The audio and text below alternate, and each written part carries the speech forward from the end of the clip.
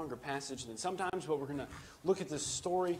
A very familiar uh, story this evening, but we're going to look at this uh, 18 verses here and then draw some things from it that, that I believe will be a, a help to us. Some things the Lord has laid on my heart. Kind of been uh, got uh, saw this in my Bible reading several months ago, and I kind of made some notes on it and, and was and the Lord kind of laid it on my heart over the past week or so that I've been uh, preparing to preach this evening. So we're going to look at this passage and then and then talk about it for a, a few moments this evening. John chapter 3, verses 1 through 18. If you would just follow along with me this evening as I read, starting in verse number 1 of John chapter 3, it says, There was a man of the Pharisees named Nicodemus, a ruler of the Jews. The same came to Jesus by night and said unto him, Rabbi, we know that thou art a teacher come from God, for no man can do these miracles that thou dost, doest, except God be with him.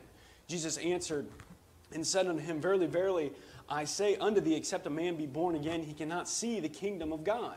Nicodemus saith unto him, How can a man be born when he is old? Can he enter the second time into his mother's womb and be born? Jesus answered, Verily, verily, I say unto thee, except a man be born of water and of the Spirit, he cannot enter into the kingdom of God. That which is born of flesh is flesh, and that which is born of the Spirit is spirit. Marvel not that I say unto thee, ye must be born again. The wind bloweth where it listeth, and thou hearest the sound thereof, but canst not tell whence it cometh or and whither it goeth. So is everyone that is born of the Spirit. Nicodemus answered and said unto him, How can these things be? Jesus answered and said to him, Art thou a master of Israel and knowest not these things? Verily, verily, I say unto thee, we speak that we, uh, that we do know and testify that we have seen and ye receive not our witness. If I t- have told you earthly things, and ye believe not, how shall ye believe if I tell you of heavenly things? And no man hath, hath ascended up to heaven, but he that came down from heaven, even the Son of Man, which is in heaven. And as Moses lifted up the servant in the wilderness, even so must the Son of Man be lifted up. And whosoever believeth in him should not perish, but have eternal life. For God so loved the world that he gave his only begotten Son that whosoever believeth in him should not perish, but have everlasting life. For God sent not his Son into the world to condemn the world, but that the world through him might be saved. He that believeth on him is not condemned, but he that believeth not is condemned already because he hath not believed in the name of the only begotten Son of God. We see this passage this evening. Uh, it's a very well known passage. It's a very well known story, the meeting of Jesus and Nicodemus uh, under the, the cover of darkness, so to speak. But we see this well known story containing probably one of the uh, most well known verses in all of Scripture, John 3.16. And we see some very important things from uh, this story that I think we can use we can take the example of Christ and apply to our lives. And what better example do we have than that of the Lord Jesus Christ? But he, I think he sets a very good example for us in this uh, passage that I want to take and kind of look at this evening and help us to become better Christians, to become better soul winners for the Lord. So tonight we're going to look at the subject of a midnight meeting, a midnight meeting, and we'll have a word of prayer and then we'll get into the message this evening. Heavenly Father, I thank you for this day, Lord. I thank you for all that you've done for us.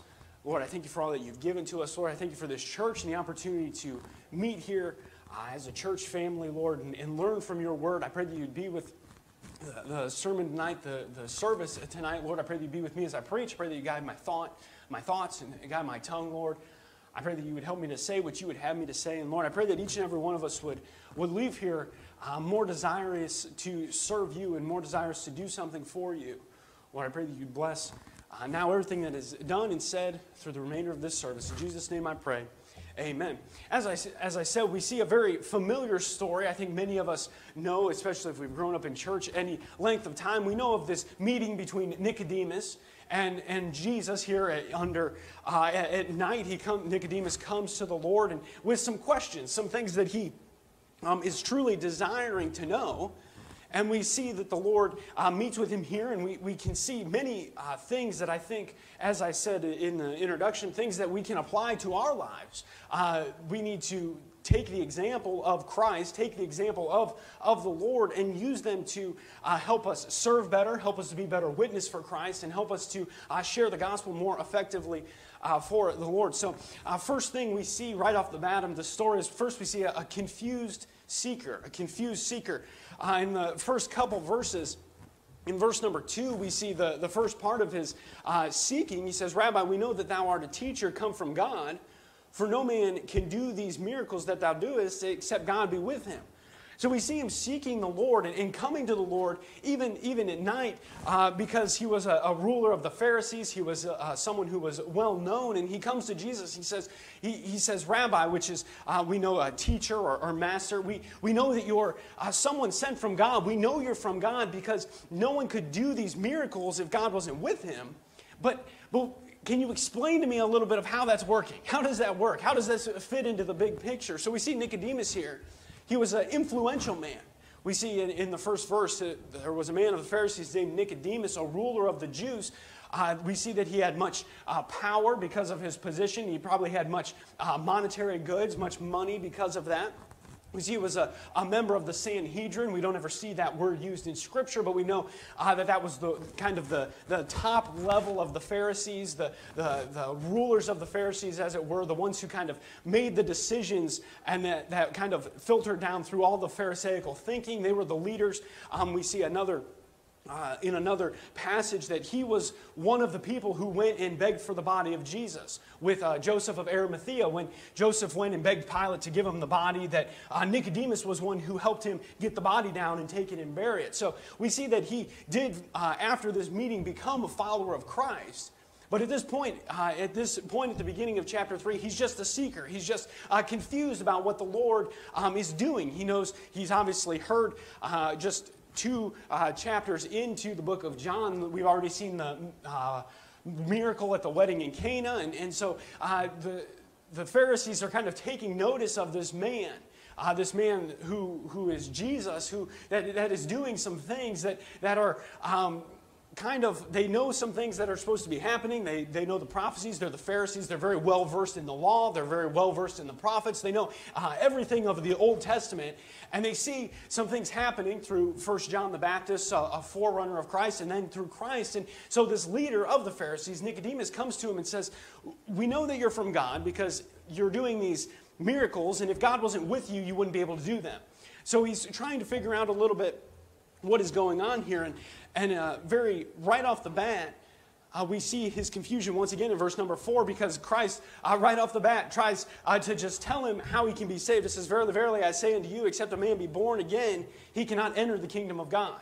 He just right off the bat says, uh, and, and we know here that the kingdom of God is represent, representative of being saved, of salvation. It says you cannot enter the kingdom of God. That means you cannot become a Christian. So uh, the answer to Nicodemus's question is uh, we know you're a teacher from God, and, and we know you're from God because you're doing these miracles. And, and if you weren't from God, you wouldn't be able to do those miracles. And, and Christ's answer is, hey, if you don't, if you're not born again, you can't become a Christian. Which I think uh, many times that would be a good thing for us. That when people ask us questions, say, well, hey, we need to back up. Are, are you saved first? You know, uh, let's get let's get this done first, and, and then we'll we'll go from there. But we see, because uh, we know uh, the verse, the natural man receiveth not the things of the Spirit of God. And, and so if someone isn't saved, if they don't understand something in the Bible and they're not saved, that, that's a very common thing. That, that's a normal thing that the Bible even tells us that they can't understand these things. And, and so Jesus here sets a very good example, and I'm getting ahead of myself a, a little bit, but when a question was asked of him, he said, Hey, if you're not born again, you can't enter the kingdom of God. And, and, as I said, the kingdom of God is representative of us becoming a Christian. So he's saying, hey, if you're not born again, you, you can't, you're not a Christian, then you're not going to be able to understand these things. But we see a confused seeker here. We see his confusion shown in verse number two, right at the beginning, and then again in verse number uh, in verse number four, he says, How can a man be born when he is old? Can he enter a second time into his mother's womb and be born? And then again in verse number nine, we see him say, uh, How can these things be? The, the Lord's telling him of uh, the, the wind blowing and all these things. And once again, uh, in verse number five, except a man be born of water and of spirit. And, and Nicodemus is standing here and he says, How, can these things be? How, how can a man be born again when he's old? How can these things be? And so we see that we have a confused seeker, a very someone who is looking for the Lord but is not understanding everything regarding him. So we see a confused seeker, but next we see a concerned Savior. A concerned Savior. I know that Christ is concerned about this man, number one, because the Bible tells us God is unwilling that any should perish, but that all should come to remission. So we know that Christ was concerned about each and every person. He's concerned about every one of us. But I find it very interesting that he was willing to meet with Nicodemus even at night. It, it was, uh, this was, he was uh, uh, traveling through, he was doing uh, some small miracles. This was right at the very beginning of his ministry. It says that uh, that uh, the, he came to Jesus by night at verse number, verse number two. So the, the Lord was willing to meet with Nicodemus even at, even at a, what would be considered a somewhat inconvenient time. But the Lord wasn't concerned about the souls of men. He was concerned about uh, those that needed to be saved. He says that uh, those that are whole need not a physician, but those that are sick. And he says in another passage, the Son of Man came to seek and to save that which was lost. The, the Lord is very concerned about the souls of men, uh, as he was in uh, John chapter 3. He is still concerned about the souls of men even today. But I think it's very important for us to notice that, as I said uh, a moment ago, when the question was first asked of him, of Nicodemus, uh, how, how are you doing these things? We know you're from God, but how is this all working? He answered him with, a, with basically a statement of, if you're not saved, you're not going to understand anyway. So uh, he was very concerned, we see first about the, his soul man. Before he could understand all the miracles, before he could understand everything that was going to take place, he first had to enter into the kingdom of God. He had to be regenerated as a, into a new creature and, and, and transformed into a follower of Christ, into a Christian. We see that Christ was willing to meet with him, as I said, even at night. And I think it's very important for us to realize the importance of not missing opportunities to give the gospel to people. I, I know um, each and every one of us could tell a story of how we uh, neglected, or maybe not neglected, but missed an opportunity. Uh, maybe we were talking with someone or having a discussion with someone, and then, and then as soon as they walk away is, is the moment we think about uh, giving them a gospel track or inviting them to church or, or asking them about their soul. And, and every one of us could tell stories of that, but, but we need to make sure uh, that, we, that we don't do that. We need to strive in our, in our life to have a witness on our lips and on our heart and, and be thinking about the things of God. Uh, I think we could all testify to the fact that whatever we're thinking about, whatever's going on in our mind, whatever we're dwelling on, is what we want to talk about. We want to talk about sports. We want to talk about uh, cars or, or guns or whatever you like, whatever you like uh, to do, whatever you like to talk about, whatever it may be. If you're thinking about those things all the time and you, those things are, are in your heart and you're dwelling on them, maybe, maybe uh, there's, there's something you've been reading and you're, you're, you're excited about it, then that's what you want to talk about. I think we can all give examples of that as well, but we need to make sure that we have the Lord on our mind, the Lord on our heart, the, the gospel on our lips, so that when we're in a discussion, even if it is about the weather, even if it's about uh, something, something benign, we can bring up the Lord. Uh, we get so caught up when talking about all everything else uh, around this time of year. People like to talk politics or uh, sports. I know uh, the NBA finals are, are going on, or they just got over. I guess I don't know, but I, I know that there's there's basketball that's almost over, and football's just starting up, and, and people like to talk about those things. But but the truth is, we can take even those small conversations and turn them into a conversation about the Lord. And as Christians, that is our job. Our job is to take this example of, of, of Christ. We, we, like, like the Savior, need to be concerned about the souls of men. Uh, we need to realize that, hey, I can, I can talk uh, about all these things. I can talk sports, I can talk uh, cars, I can talk things with people, but, but it, the bottom line, what it comes down to is are they going to heaven? When it comes down to it, we need to be uh, like Christ here. When they say, hey, uh, I don't understand all this stuff about, about God and the Bible and all this, we just need to say, hey, are you saved? You know, and, and, and I mean, we, we need to be tactful, obviously. Don't just be like, hey, you need to be saved, you idiot, and smack them upside the head with the Bible. But, but we, need to be, we need to be willing to, to just, hey, hey I, I need to ask you about your soul. I need to ask you about where you're going to spend eternity. I, I love talking about all this other stuff with you, but I need to know if you're going to heaven. So we see that we, uh, there was a confused seeker, someone looking for Christ, and because of the Savior's concern, or the concerned Savior that we see here in these passage, uh, that he was able to meet with him and able to talk to him for a little bit. But not only have we seen a confused seeker and a confused or and a concerned Savior, next we see a compassionate sermon. We see a compassionate sermon uh, that was preached here in the next few verses. In verses, uh, starting in verse number three, when he says, Except a man be born again, he cannot enter into the kingdom of God. Then he continues, Verily, verily, I say unto you, this is in verse number five, except a man be born of water and of spirit, he cannot enter into the kingdom of God. That which is born of flesh is flesh, and that which is born of spirit is spirit. Not, marvel that, excuse me, marvel not that I say unto thee, ye must be born again. The wind bloweth where it listeth, and now here's the sound thereof, but I can't not tell whence it cometh and whither it goeth. So is everyone that is born of the Spirit. We see that the, the Lord comes to him and he's uh, preaching this message to him, uh, short as it was, but it was not one of uh, being better than you or holier than thou. It was a message of compassion. It was a message of him trying to uh, show him his need for salvation. We see that he uh, started reasoning about him with, with life, using the example of being born again, and then talking about the weather and, and, signs and things of that nature. I'm reminded of the verse in Isaiah chapter 1, verse 18. It says, Come now, let us reason together, saith the Lord, though your sins be as scarlet, they shall be white as snow, though they be red like crimson they shall be as wool. Uh, the, the Lord used that, that perfect example there. He's come, let us reason together. Let me explain to you. Let me use this example of, of uh, the, the new birth and then tell you a little bit about the wind, how it blows, and, and things of that nature. And we see that he used this uh, time of compassion to, to tell him, uh, to show him uh, that he needed to be saved. Once again, in, in verse number 10 down through verse uh, even through the end of the passage that we read, verse 18. But he says, Art thou a master of Israel? That means a teacher in Israel, and, and knowest not these things? Verily, verily, I say unto you, we speak that we do know and testify that we have seen, and you receive not our witness. He's, he's saying, once again, making reference to the prophets uh, that have gone before and saying, hey, they told you, they told everyone that I was coming. And we need, you need to make sure that you don't reject like they did, like they rejected the prophets. And in another passage, he, he talks about how they slew, uh, slew all the prophets and, and, he, and they, they didn't believe them. They cast them out. And he's, he's saying to Nicodemus, hey, everyone rejected the prophets before. You, you received not our witness, but, but you need to make sure that you don't reject me. It's, it's one thing to reject someone who's talking about Christ, but it's something entirely different and something much more devastating to actually reject Christ.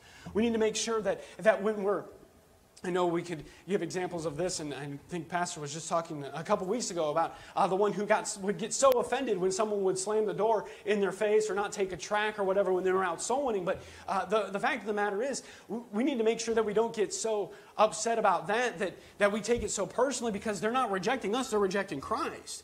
It's one thing for them to reject us, and, and people are going to reject us. People are not going to like us. They're not going to like uh, something we said or the way we said it or, or whatever. There's a, a, myriad of reasons people don't like us. But, but it's, it's one thing for them to not like us, but if they reject Christ, they're going to spend eternity in hell. We need to have this message of compassion. We need to, to reason with them and, and tell them, hey, with, there's a lot of things that you might not understand, but the, the key is that you get saved. The key is that you, you turn to the Lord as it says, as the, uh, I think it's very interesting that uh, just, just a, a few uh, short, uh, a short amount of time into his ministry, Christ is already telling, um, telling Nicodemus here at verse number 14, that as Moses lifted up the servant in the wilderness, even so the Son of Man uh, must the Son of Man be lifted up? He's already telling him how he's the one who's going to die for sins. He's the one who's going to be uh, lifted up and, and, and his blood be shed for sins. And he's already uh, preaching himself to them. So we see uh, a compassionate sermon is preached, one of reasoning, one of trying to show him his need of salvation, show him that he must be born again, uh, the, the new birth, the regeneration into the, into the kingdom of God, into salvation. We see a confused seeker. We saw a concerned Savior. We saw this compassionate sermon. And lastly, tonight, and, and probably most importantly, we see this compelling solution. A compelling solution that is given he gets down to verse uh, number 13 and into 14. It says, uh, that saying that he, he's the one who, or, or the Son of Man is the one who's been up to heaven. He knows what uh, all of these things. And, and as the, Moses lifted up the serpent in the wilderness, the Son of Man is going to be lifted up. And then it kind of comes to a point in verses 15 and 16 and then 17 and 18. It says that whosoever believeth in him should not perish but have eternal life. For God so loved the world that he gave his only begotten Son, that whosoever believeth in him should not perish, but have everlasting life. For God sent not his Son into the world to condemn the world, but that the world through him might be saved. We see here that the end of his is his sermon, his compassionate sermon to him, this reasoning of, here's the here's how uh, here's uh, this this uh, example of a new birth, and and talking about the wind and the, the signs that are to come, and and the one who's going to be lifted up. At the end of all of that, he offers a very simple solution: believe, believe. Uh, verses 15, we see, for whosoever believeth in him should not perish but have eternal life. And again in verse number 16, that whosoever believeth in him should not perish but have everlasting life. Verse number 18, he that believeth on him is not condemned, but he that believeth not is condemned already, because he hath not believed in the name of the only begotten Son of God. It's simply believe whosoever shall call upon the name of the Lord shall be saved. It's just simply trusting that the Lord is the one who, who he said he was, the one who died for sins. We see this here in, in uh, as I said, in verse 15, in verse 16, in, in verse 18. He says it over and over again. It's very interesting that he, he reasons with him and he says, You got to believe. Whosoever believes on Christ will have eternal life. Whosoever believes on Christ will have everlasting life. If you believe, you won't be condemned. But if you don't, you're condemned already. And he, he just says, You need to believe. You need to believe. You need to believe. There's too many uh, gospels, I'll, I'll, say, there's too many doctrines going around that, that don't want to say that, oh, God loves everyone. God, and, and, and God does love everyone as, as, uh, as far as a father loves them, but, but He doesn't love what they're doing. We're just, just because we're all creations of God doesn't mean we're all children of God. God did create everyone, but only those who are saved are His children. And, and too many uh, too many uh, modern churches want to just make us all children of God and we're all just uh, trying to make it through. We're all just trying to make it to heaven. But the fact of the matter is, Christ here, uh, our example, he, he says over and over uh, again, whosoever believeth should have everlasting life and, and have eternal life. And, and if you believe, you won't be condemned. We need to not add or detract from the gospel. The gospel is the death, burial, and resurrection of Christ, and, and that needs to be believed. We need to believe that the Son of Man is the one who, who gave his life for us, the one that God uh, sent down uh, to die on the cross for us, the one who God sent to uh, live a perfect life and take our sins upon him.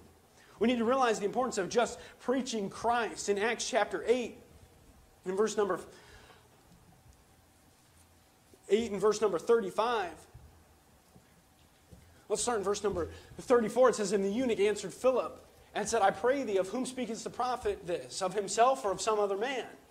Then Philip opened his mouth and began at the same scripture and preached unto him Jesus. There's nothing else uh, besides that that we need to be preaching. It's, it's important for us to, to preach. Oh, we need to do certain things, and there's certain ways we need to live. But, but the, the main goal of the Christian is to preach Jesus, is to tell others about Christ. Once again, in 1 Corinthians chapter 1, and verse number 23, Paul, uh, under inspiration of the Holy Spirit, writes here, But we preach Christ crucified, Under the Jews a stumbling block, and under the Greeks foolishness, and unto them that are called, both Jews and Greeks, Christ, the, uh, Christ, the power of God and the wisdom of God. We see here that he's saying, We preach Christ. How important for us as as the New Testament uh, 21st century church to remain preaching Christ to keep on preaching Christ. Uh, we, we see how the Lord is our example, that Christ Himself is our example. He's the, the best example we could ever have. Look, I'm all, I'm all for having role, role models. I'm all for uh, having people you look up to. I'm all for having uh, good, godly people that are, are oh, I would like to have so and so's prayer life, or I'd like to study like so and so does. Or I'm not all for reading uh, books to help make you better, but, but the fact of the matter is, that Christ is our example. If we do everything like Christ did, we'd be doing pretty well. And if Christ, uh, talking to Nicodemus in John chapter 3, preached Christ, I think it's very important that we preach Christ as well. If Christ was willing to preach himself, I think we should be willing to preach him as well. We see that he tells him to believe. He tells him to uh, believe in chapter, uh, in verse number 15, in verse number 16, in verse number 18. What a compelling solution that he offers to this problem of sin. He, he tells him over, uh, he tells him about these different things, how a man must be born again of the Spirit. How that he, he's going to be the one, Christ is going to be the one that's lifted up, just as Moses lifted up the servant. And whosoever believes on him will have eternal life. We see a confused seeker, and there's many, many confused people, confused seekers in the world today. Now, uh, Nicodemus knew exactly what he was looking for. He knew he was looking for Christ. He knew that he was looking to learn some things from Christ. But there are a lot of people who are seeking something uh, today in the world, and, and many of them don't know what they're even looking for. They're looking to fill an empty spot in, in their life, or they're trying to uh, do, do better. They try to uh, live a better life. They, they maybe go to church once in a while because they think that's going to help. And, and, and so they, they're seeking something, but, but they, just like Nicodemus, are, are confused seekers. They don't know exactly what they're looking for. But we see a concerned Savior. How important it is for us to take on that same concern.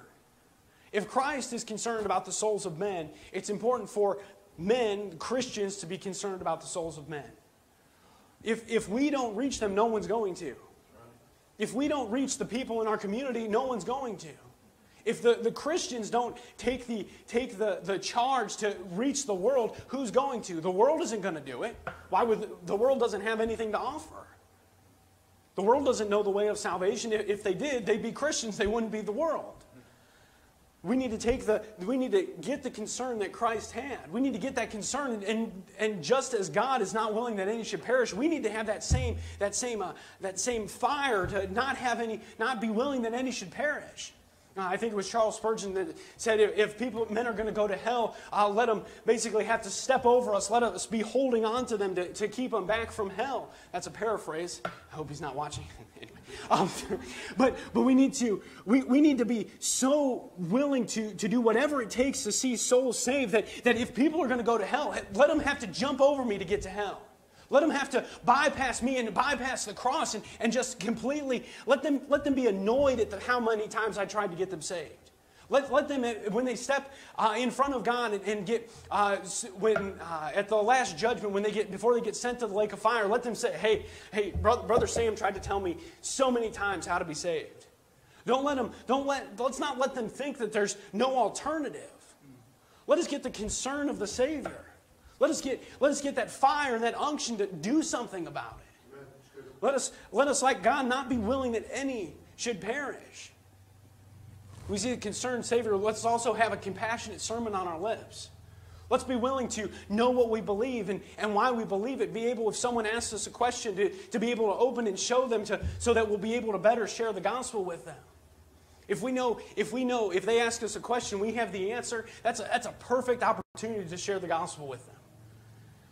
Let us have that compassionate sermon, reasoning with them, showing them their need for a Savior, showing them the, the sin that, that's going to uh, send them to hell, showing them that Christ died for that sin. And then let us have that compelling solution ready to give them.